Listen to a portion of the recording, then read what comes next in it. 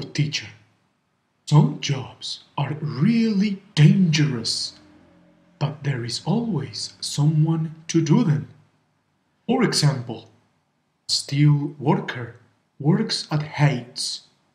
The mortality rate of a logger is very high.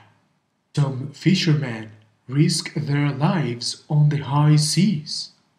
These dangerous jobs are really well paid. Do you dare? For example, flight engineer earns around $100,000 a year.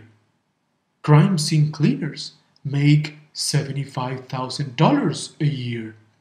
My friend is a miner and his salary is $60,000 per year. See you in the next class.